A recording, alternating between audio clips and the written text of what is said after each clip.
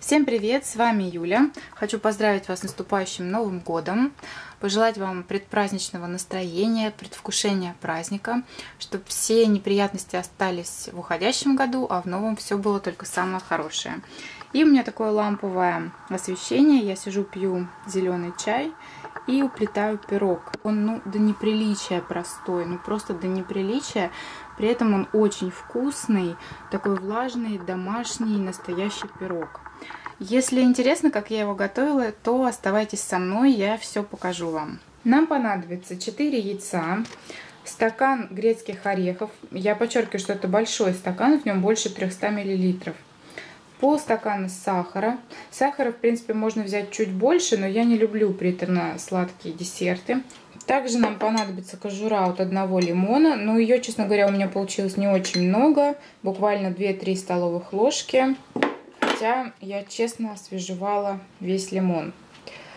Вот. Я возьму также немного пшеничной муки цельнозерновой. Думаю, что вполне можно взять туда и белую, но я буду брать такую. И силиконовая форма.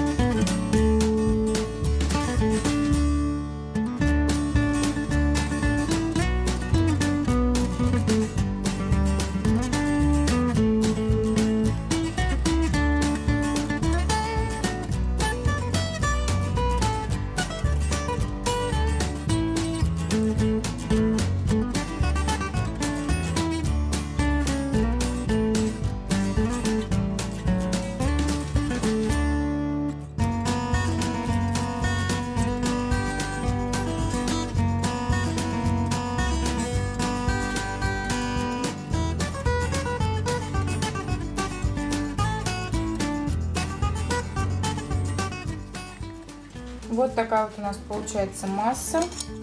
Вот такой консистенции. И сейчас мы это все будем заливать в силиконовую форму и отправлять в духовку.